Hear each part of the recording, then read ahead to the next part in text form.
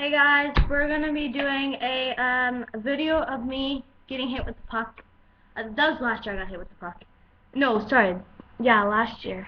Um, yeah, so I got hit with the puck in the in the finger, and I had to go to the hospital and stuff, and it was uh, Oh, sprained. I, I, I, I had a video. She she got the whole thing on video. It was pretty funny.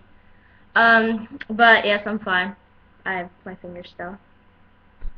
And so the thing that's happened, the girl, she, I stood in front of her, but I was like a few meters away. I was like three meters away, and she shot the puck. She did a slap shot and got me right in the finger.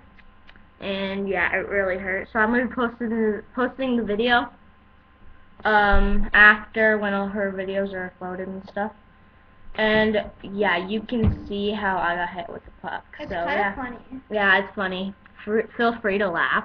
I 'Cause don't it- care. And comment what you think about it. Like, 'cause it is funny. Yeah, and um, this is like our second video, and uh, we kind of want to someone, at least one person, to subscribe or comment or Okay. like, cause it'll be really cool. So I'll show you the video of my me getting hit with the puck. So yeah, bye, peace.